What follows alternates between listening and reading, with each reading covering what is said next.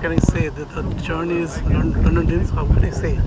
The journey has been quite interesting. I think uh, put in a lot of hard work. Every shooter who's come here put in a lot of hard work, and I'm happy that the hard work's paying off.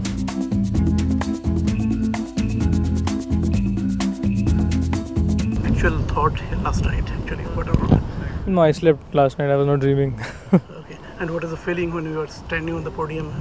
What well, feel, feels great. Feels great. I, I, I would have been much happier if I had the gold around my neck. But uh, yeah, I was looking at it, and uh, and uh, looking forward uh, to to the next Olympics and uh, the events ahead.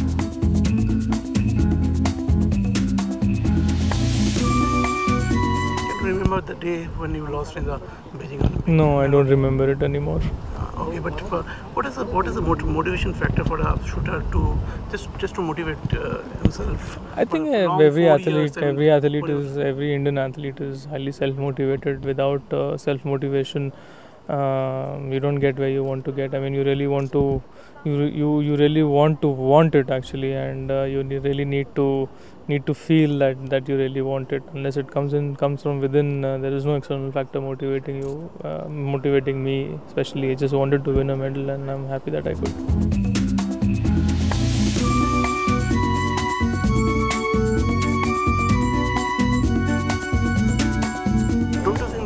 Shooter or any other individual sports, but there is no, uh, no lack of applause from the from the.